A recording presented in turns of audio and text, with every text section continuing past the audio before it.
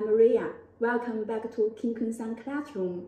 Firstly, please allow to introduce a new friend, Miss Fiona. She has been working in customer service center of King Kun for more than 10 years. Hello, Fiona. Please say hello to everybody in classroom. Thank you, Ria. Hello, everyone. This is Fiona from King Kun Okay, today we will continue to talk about the Lepidoptera insecti pest. Fiona, is there any trouble caused by Lepidoptera insect in your markets? Yes, you asked the right person. This year, Tuta absoluta infestation is very serious on tomato, especially in Asian markets. Farmers are very headache because their tomato fields are full of Tuta absoluta. Tomato plants and fruits are damaged and cost more than 30% the yield loss. I know Tuta absoluta is a serious invasive and destructive insect pest of tomato. The common name is tomato leaf miner. Tuta absoluta is the Latin name. It originated in Peru and was first reported outside of its native range in 2006 from Spain. Then rapidly spread throughout other European countries, Africa, Middle East, and Asia, and many other countries. IntechOpen data shows that Tuta absoluta is threatening about 87% of worldwide tomato production. If Tuta absoluta is not effectively controlled, the tomato yield loss can be up to 100% due to the injuries on leaves, stems, and fruits. Tuta absoluta can also infest and damage other crops like potatoes, eggplants, and peppers.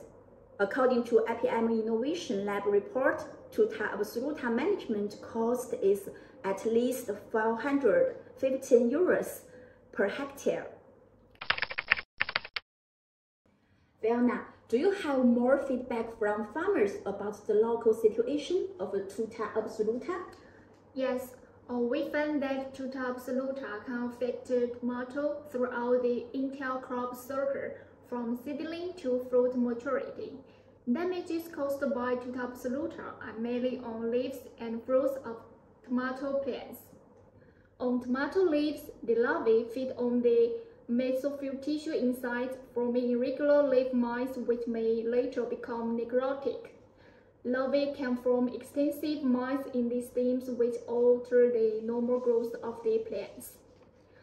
Tomato fruits are also attacked by the Tuta absoluta. The larvae also bore into the fruit, forming galleries. These galleries represent open areas for inter-invasion by secondary passengers, leading to fruit rot. Yield loss can reach up to 100%. Yes, that's why Tuta absoluta is not easy to control. The larva lives inside the leaves, fruits, and stems, so the common control method is not effective, and the female mouse has very strong reproduction ability to lay 250 to 300 eggs in her whole life. But the life cycle from egg to adult can be very short, only 24 days, when temperature is between 20 centigrade to 29 centigrade. A female mouse can produce about 10 to 12 generations per year. Wow, that's really a big finding. So what is the recommendation we can suggest to farmers?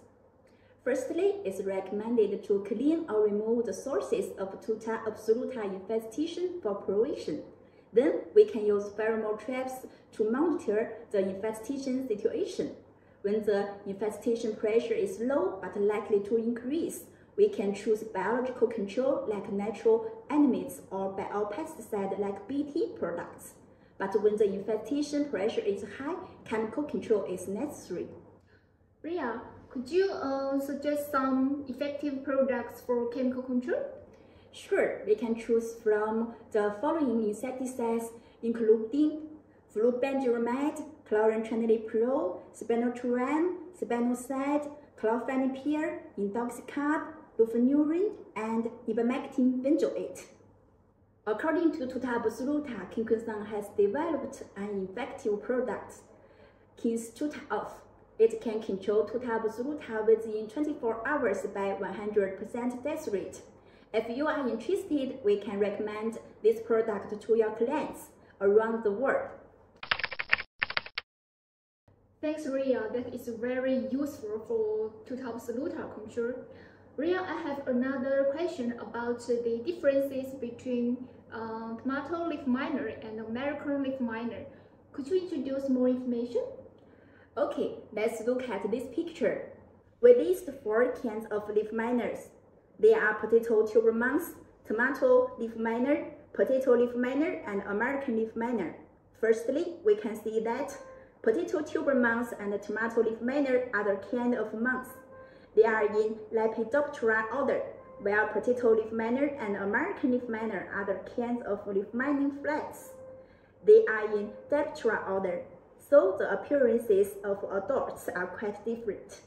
Secondly, the damages is caused by the larvae of potato tuber mouse and tomato leaf miner are forming silver brown, short, and wide wormholes on the both sides of leaves, while the damages is caused by larvae of potato leaf miner and American leaf miner are forming gray-white, narrow, and long tunnel only on front of the leaves. So we can use this method to identify the different kinds of leaf miners. For American leaf miner, we can choose cyantraniliprole, cyromazine, and ivermectin products for chemical control. Thank you, Ria. Alright then, this is all for today. Hope this video can help you have a new understanding of Tuta absoluta. If you like it, please subscribe to our channel. And if you have more questions regarding the Tuta absoluta, please leave us a message down here below in the comment zone. And King Quenson will try to provide you with more information regarding the pesticide industry and pest control. King Quenson, focus on your harvest.